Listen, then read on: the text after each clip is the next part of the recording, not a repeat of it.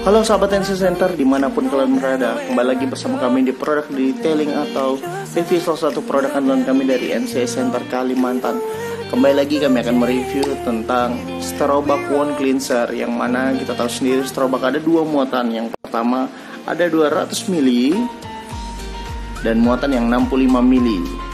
Untuk para sahabat sendiri eh, kita tahu stroba kun cleanser adalah produk topikal utama yang digunakan sebagai cairan antiseptik untuk perawatan luka yang mana dapat mengurangi jumlah mikroorganisme pada permukaan luka dan efektif pada material organik seperti darah, cairan luka, dan jaringan nekrosis.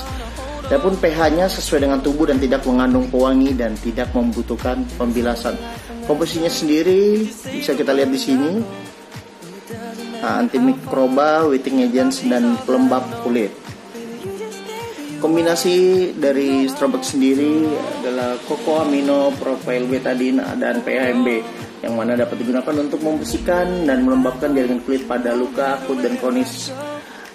Mencegah terjadinya infeksi pada luka akut dan kronis dan membantu debri dengan luka serta mengurangi rasa sakit pada saat pergantian perban ada pun yang kami rekomendasikan untuk penggunaan strobox sendiri yaitu 10 sampai 15 menit. Namun saya Center Kalimantan biasanya ketika menggunakan strobox itu 15 menit biar biofilm yang ingin kita angkat uh, itu jauh lebih optimal.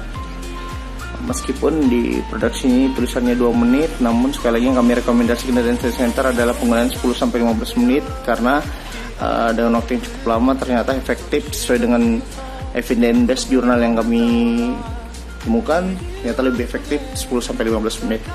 Jadi untuk para sahabat tidak perlu bingung lagi. Bagi para sahabat yang ingin pesan silahkan hubungi kami di 0852 50 57 58 11. Salam hebat, salam sejahtera, stop amputasi.